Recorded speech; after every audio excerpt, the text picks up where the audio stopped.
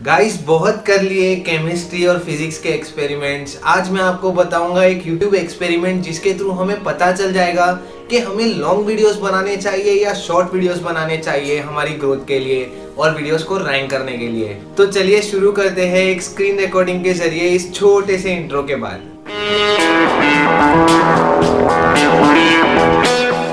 जैसा कि आप देख सकते हो, हमने दो वीडियोस अपलोड की हुई है वीडियो वन और वीडियो टू दोनों ही वीडियो के टाइटल सेम है टैग सेम है और डिस्क्रिप्शन सेम है। दोनों ही वीडियोस में testing with Sagar Jain title है testing with Sagar Jain description है और टेस्टिंग विद सागर जैन ही टैग है। फ़र्स्ट जो वीडियो है वो एक मिनट की है और सेकेंड जो वीडियो है वो दो मिनट की है और दोनों पर ज़ीरो व्यूज़ है।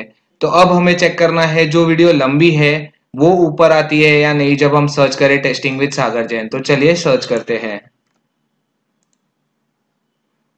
तो आप यहाँ पर क्लियरली देख सकते हो, जो हमारी लंबी वीडियो थी, जो दो मिनट की वीडियो है, वो ऊपर आई है सर्च में और जो एक मिनट की वीडियो है, वो नीचे आई है सर्च में। तो इससे क्लियर हो जाता है कि अगर हमारी वीडियो की लेंथ ज़्यादा होगी तो हमारी वीडियो की रैंकिंग बढ़ जाती है। तो गाइज़ इसका मतलब ये नहीं है कि अगर आप 20-20 मिनट की वीडियोस बनाओगे तो वो वीडियोस रैंक कर जाएगी। क्योंकि अगर आप 20 मिनट की वीडियोस बनाने जाओगे तो उस पर वॉच टाइम भी कम आएगी। इस वजह से आपका एवरेज ऑडियंस रिटेंशन कम हो जाएगा। तो आपको मेक श्योर sure करना है कि आप करीब पाँच से आठ मिनट तक की वीडियोस बनाएँ। YouTube पर ऑन एन एवरेज तीन मिनट की वीडियोस बनती है। तो आपको करीब करीब पाँच या आठ मिनट की अगर आप वीडियोस बनाओगे तो उस पर अच्छा खासा वॉच टाइम भी आ जाएगा और उस वजह से आपकी वीडियोस रैंक भी कर जाएगी। अगर आप 20 मिनट की एक वीडियो बनाओ और उस पर एक मिनट का वॉच टाइम आए, यानी आपके ऑडियंस रिटेंशन पाँच परसेंट हो गया।